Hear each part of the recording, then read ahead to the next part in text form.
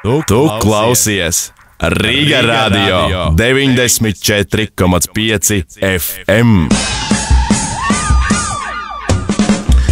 Viens no maniem uh, priekiem dienas, ka es vienmēr uh, cenšos būt precīzs un 13 minūtes pār 4, kā mīļie Rīgas radio klausītājs jums solīja.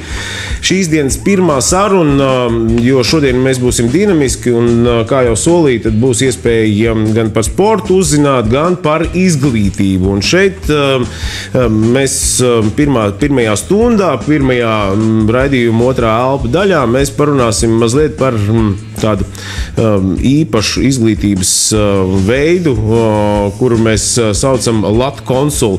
Pie mums ciemos um, Latvijas konsula boss, tā, tā, tā darbinieks sauc par bosu. Ja? Valsts loceklis. Nu, jā, darbinieki nesauks sveicināt valdu. Nu, sveiks, boss. Tā, tā noteikti ir um, pareizi, pareizi būs um, teikts. Vispār man sauc par Normānu. Normons, Normons Lokembaks šovakar studijā. Viņam līdzi arī ko, kolēģis Raimons arī piebalsos mums mazliet par tām aktuālām lietām, kas saistītas ar Latvijas konsulu. Mēs, protams, vispirms, nu, teiksim, normāls jautājums reālajiem Rīga radio klausītājiem. Kas ir Latvijas konsula? Cik ilgi darbojās? Ko dara? Latvijas konsuls nodarbojās ar pieaugušo izglītību, kā arī pašā nosaukumā ir minēts, ka viņš ir biznesa konsultāciju mācību centrs. Darbojās viņš kopš 2003. gada 18. decembra. Tajā laikā, ja es pieskaršos vēsturē, tad mums bija tikai viens vai divi produkti, kurus mēs sākām attīstīt. Kāds bija pirmais produkts, ar ko pirmais jūs bija Eiropas struktūra fondu atbalsts maziem un vidējiem uzņēmējiem? Desmit gadu atpakaļ, un vēl joprojām, es domāju, ļoti aktuāla tēma. Jā, šī tēma mums ir nebeidzama. Mēs cenšamies reizi mēnesī šos semināru vadīt. Tas viņš notiek divās viesnīcās, vienreiz vienā, vienreiz otrā. Cilvēku skaits ir aptuveni ap 70. Tā kā wow. gada laikā mēs apmācām, konsultējam, tas iznāk 700, nu, mazāk mazliet cilvēkus. Kuriem ir dota iespēja saprast, vai viņi tiek pie līdzfinansējuma savam uzņēmumam vai ne šo, šī kursa laikā. Viņš ir no 9 līdz 5 vakarā, viņš ir visu laiku viņš ir aktuāls. Mums tur ir četri pasniedzēji, kuri to struktūra fondu piesaisti, pagriež dažādos rakursos.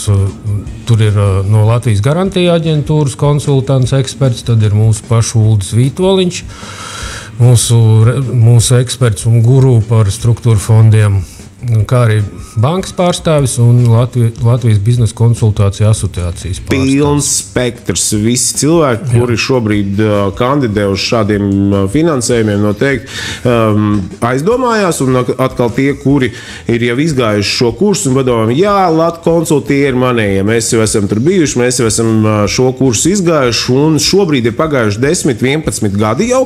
Un, uh, līdz, um, kādam apjomam šobrīd ir izaugusi Latvijas konsula piedāvā, piedāvātās programmas skaits? Nu, tagad mūsu spektrs ir pieaudzis manāmi. Pieaudzis tā, ka mēs jau sākam sadalīt pieaugušo pilnveidu izglītību un neformālo izglītību, atdalīt no biznesa konsultācijām. Sadalot to pavisam atsevišķā uzņēmumā, kurš mums ir nodibinājies pagājušajā gadā. Un šajā, kurš saucās Hans Trainings, kurš ir tā kā nu, meitas mm -hmm. uzņēmums. Ja. Mēs viņā piedāvājam darba aizsardzības kursus, Uh, ugunsdrošības kurs, biroja vadītāja kurs, grāmatvežu kurs iesācējiem. Nu, tas nav tā, ka tu gribi kļūt par pažarnieku un tur aiziet uz kursiem. Tur jā, jārēķinās, ka tev ir uzņēmumā nepieciešams, ir, um, lai kāds būtu atbildīgais par šo uh, ugunsdrošību. Un uh, tie ir tie cilvēki, kuri pie jums iegūst zināšanas, kā savā uzņēmumā rūpēties par ugunsdrošību. Pareizi, ja? Nu, jā, tur nu, jābūt speciālistam. Jā, jābūt speciālistam, jebkurā gadījumā ar uguni nav nekādi joki. Cik kopā darbinieki jūsu nu, teiksim, pieaicinātie cilvēki, ar kuriem jūs sadarbojaties, jūsu kolektīvā ir šobrīd? Latvijas bilancē ir 20 darbinieki. Jā. Bet tas nav pilnīgi viss spektrs, jo mums ir arī pieaicināti lektori, jā, noteikti. Mm -hmm kuri strādā uz uzņēmuma līguma vai autora atlīdzības līguma pamata, un tad jau tas darbinieku skaits pieaug manāmi vairāk. Uh, Es domāju, ka visi mēs šobrīd esam pelnījuši jau ielūkoties mājaslapā. Tie, kur ieinteresējušies, latkonsul.lv. Darīt nozīmē augt, vai augt nozīmē darīt. Kāds ir pareizais, kāds ir pareizais jo visu laiku griežas šajā, šajā, šajā mā- mājaslapā šis uzraksts un nav īsti iespējams pieķert. Kā, Es domāju, kāds ir- darīt nozīmē augt. Darīt nozīmē augt. uh, arī jā, otrādi? Darīt Arī noteikti. Šeit, šeit ir ļoti labi šī dinamika uzrādīt arī mājaslapas pašā, pašā pirmajā lapā. Un uh, noteikti uh, viss kolektīvs arī paši seko līdzi um, šim uh, sauklim.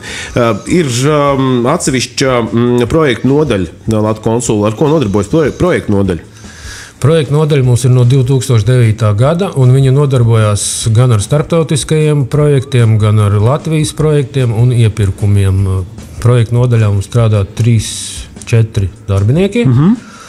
Un notiek tad, uh, projekta izstrāde starptautisko projektu, kuros ir uh, iesaistīta Eiropas struktūra fonda nauda. Tāpatās.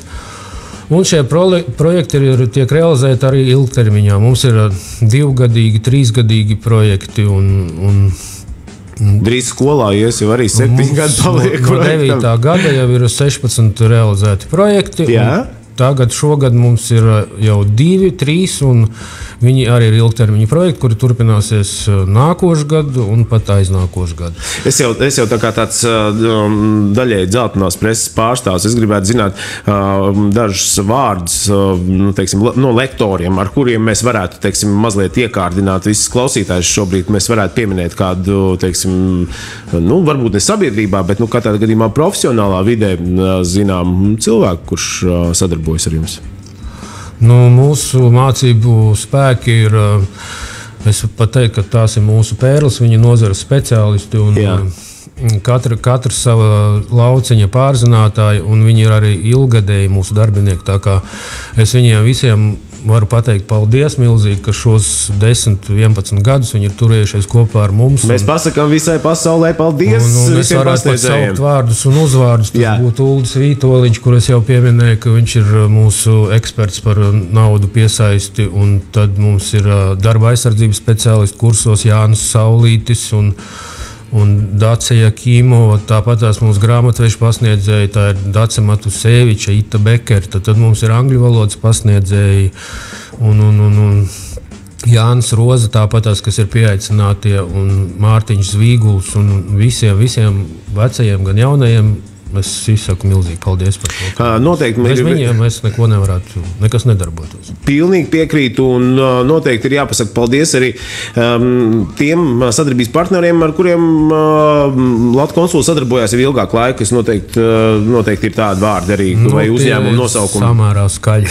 Jā, mēs gribam skaļos vārdus. Latvijas finieris, Latvijas ergo, Latvijas mež, meži, tad ergo insurance, um, nu, valsts nodarbinātības aģentūra, valsts darba inspekcija. Um, Nu, varētu skaitīt. Mēs skaitīt. esam šobrīd jau aizķēruši ļoti lielu daļu no Rīgas radio klausītājiem, kuri saka, jā, tik tiešām mēs esam Rīgas regulārie. Rīgas satiksme rulē, jā, man patīk Rīgas satiksme. Es izmantoju Rīgas satiksmes pakalpojumus dažreiz, un, bet visvairāk mājaslapu, jo tur ir iespējams uzzināt sīku informāciju. Es tā, no, nu, teiksim, gribētu ņemot vērā, ka Rīgas radio ētrā šobrīd skan Belakorda ieraksti. Pateicoties jūsu uzņēmumam, vai sadarbojoties ar jūsu uzņēmumu, mēs šādu rubriku esam izveidojuši.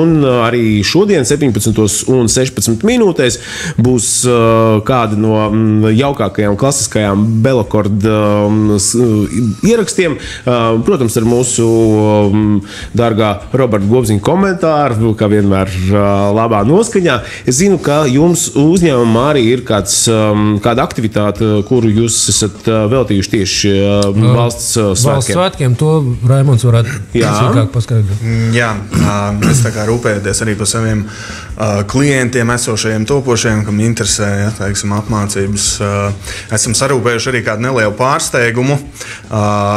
Jebkurš, kurš pieteiksies uz kursiem uh -huh. līdz valsts svētkiem, Jā. saņems savā īpašumā tādu nu, nu, varētu teikt, patriotisku dāvanu. Ja, un arī, Jā. arī uh, tajā pat laikā arī uh, praktisku.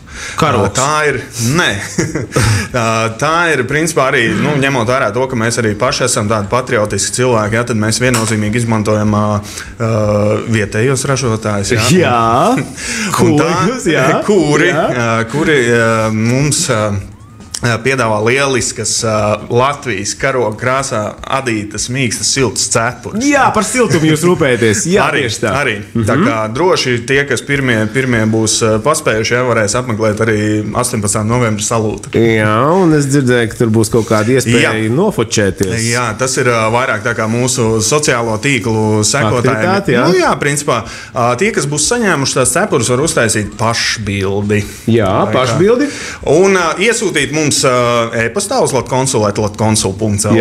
elementāri. Uh, interesantākās, uh, labākās, foršākās Mhm, bildes mēs noteikti publicēsim uh, sociālajos uh, kontos. Un, uh, protams, uh, būs pārsteiguma balva labākajai bildē. Jā, ja vēlaties atrast Facebook um, vietnē uzņēmumu Latvijas konsulu, tieši tā arī ir jāraksta Latvijas konsulu un uh, šādu vārdu, šādus vārdu savienojums arī Latvijas konsulu. uh, šā- uh, š- Ierakstot šādus, um, šādu Latvijas konsulu nosaukumu, jūs arī atradīsiet uh, Latvijas konsulu Facebook vietnīti. Um, nu, es jau nevaru iztikt bez tiem kurioziem. Noteikti, ka jūsu, uh, nu, tā kā, kā jebkurā skolā, noteikti ir arī kāds, uh, teiksim, situācijas bijušas, vai tie varēja būt vai, vai uh, svešvalodu kursos, vai tie tajos pašos um, ugunsdzēsības um, programmā. Šis stāstījums būs nedaudz uh, garāks. Izklausās, ka bēdīgi. Beigsies, bez biznes Kādreiz, beigas. jā. Tas bija tā kā starptautisko projektu apmācību brauciens, studiju, studiju vizīte, stadiju vizīte angļuiski saucās. jā. Uz Lisabonu. Uh, Trīs gadi atpakaļ. Es biju nopircis biļeti, visu lidostā pajautāju, kad man jāpārsēžās būs Romā Jā. uz citu lidmašīnu, un vai man nebūs bagāža jāizņem, vai viņi pati tur Jā. paliks. Man ir bijusi arī tieši tāda pati situācija. Un tātad Portugāles avio līnijas uh, laineris mani aizveda līdz Romai, bet uh, vēlāk sākot uh, mēģināt to visu atcerēties, kad laikam jau pa īsu bija tas pārsēšanās brīdis. Jā, ka nepaspēja tās somas Kad pārlikt. bija jāskriet cauri visai lidostai līdz ček čekinam, un tur tajā čekinā es sapratu, ka nu, kaut kāda notiek bišķi tāda sasteigtība visā. Un nosēžoties uh, Lisabonas lidostā, es uh, sāku gaidīt savu bagāžu. Protams, ka nekas no tās bagāžas neparādījās uz lentes. Tad es aizgāju uz uh, Lost and Found biroju un jautāju, ko man tagad darīt. Un Viņi teica, ka nu, jāraksta kaut kāds iesniegums, un tad būs telefons, un jūs Jā. varēsiet sazināties. Tad ja vizīte ilga septiņas dienas. Pēc pirmās dienas, kur bija dalībnieki no visām Eiropas valstīm, pirmajā dienā, kad mēs tikāmies, viņi jautāja, nu, kā atlidoja. Es saku, normāli, tikai nu, tā bagāža tā kā Jā. izpaliek. Viens uzvalks. Mm, Uzvalks, tas bija džemperīts. Jā, okay, jā pareizi. Protams, lidmašīnā tas lidojām. Nu, lūk, un, nākamajā dienā man patīk tas, ka tie ārvalstu dalībnieki visu laiku pievērs man to uzmanību, kas man nevisai patīk. Jā. Kad nu, izteica savējos Nožēlu. Jā, nožēlas, kas tas tāds ir, kāpēc tā ir iznācis. Un es saku, nē, man vēl nav bagāžas, bet nu, soli, ka būs. Jā, protams. Tā pagāja četras dienas. Un tuvojās piekdiena, kurā mums bija tikšanās restorānā ar Portugāles izglītības ministrijas pārstāvjiem uz uh, lietišķajām vakariņām. Nu, tā Jā. kā stadija vizīte noslēdzās. Protams, ka bagāža atnāca tajā pašā piekdienā. Un, uh, kā es arī atskārtu, ka bagāžas tas čemodāns viņš viss ir slapjš. Viņš mm. ir izvilkts vai nu no kaut kādas ūdens tvertnes, vai stāvējis Lietuvā šīs četras dienas. Tā kā numurā nebija nekāda radiatora, jo Portugāla ir silta zeme. Tad, un arī tāda āķīša, uz ko to visu pakarināt, nebija. Nācās izlīdzēties ar to, ka es to visu izklāju uz grīdas, uz divāniem un kaut kā nožāvēju visu to pasākumu. Un aizgāju veiksmīgi uz vakariņām. Jā. Un, uh, Zviedrijas dalībnieks man jautā, nu, kā tev tur tā bagāža? Nu, es saku, nu, ir jau viss kārtībā, mitra tikai bišķiņa. Uh -huh. uh, viņš saka, klausies, bet kā sauc to aviolīniju, ar kuru tu brauc? Es saku, TAP. Un tas tulkojās Transair Portugāla. Jā. Trīs burti. Viņš saka, nav pareizs tulkojums. Tulkojās viņš tā, teikt, ka Nazar plēna. Tā kā paņemam citu lidmašīnu un lidojam uzmanīgi. Tas ir jautājums par izvēli. Ja jūs vēlaties mazliet uzlabot savu dzīvi un uh, papildināt savas zināšanas, tad uh, divi resursi jums ir piedāvājumā, kuri nav, kuri nav likuši vilties jau um, studentiem uh, 11 gadus. Latkonsul.lv vai arī Facebook vietnē Latkonsul atradīsiet informāciju. Gribētu novēlēt, lai vēl 10, 20 gadi jums būtu iespēja ja palīdzēt cilvēkiem apgūt jaunas zināšanas un uh, uh, lai, uh, lai, lai, lai šī izvēle noteikti uh, paplašinātu jūsu draugu loku. Es domāju, ka ņemot vērā, ka Rīga radio ir jūsu draugu lokā, mēs uh, sadarbosimies vēl nevienu reizi vien un noteikti nākamajā stundā jā, īpaši izcelsim kompozīciju, um, kur atbalstījusi arī Latvijas konsula. Milzīgs paldies, ka šajā ceturtdienā atnācāt pie mums, pie mums uz studiju un vēlreiz novēlu visiem, visiem studentiem, lai viss izdodas un, protams, visiem pasniedzējiem labu veselību. Paldies! Paldies! Tu klausies Rīga Radio 94,5 FM.